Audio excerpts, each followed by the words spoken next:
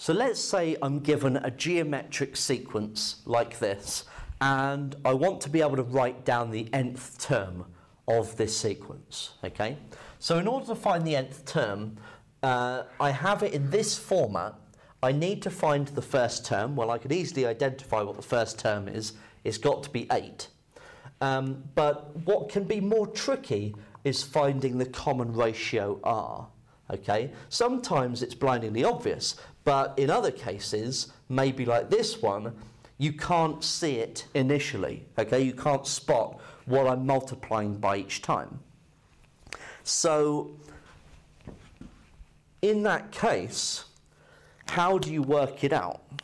Well, there's quite a nice, easy way of working out the common ratio. And all you need to do is to divide one number in the sequence by the previous term. So we can do 2 fifths divided by 8. Okay? Um, and that will get me the common ratio. Or you could have done 1 50th divided by 2 fifths, or 1 1000th divided by 1 50th. Okay? It doesn't matter which two you choose. So 2 fifths divided by 8 gets us 1 over 20.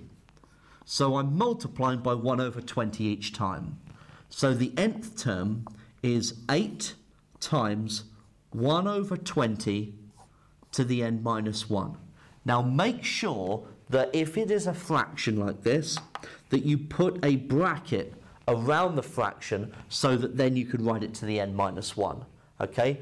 Don't leave it like this because that means it's 8 times 1 to the n minus 1 over 20. It's not telling me to put the whole fraction to the power of n minus 1. Okay, so make sure you use a bracket.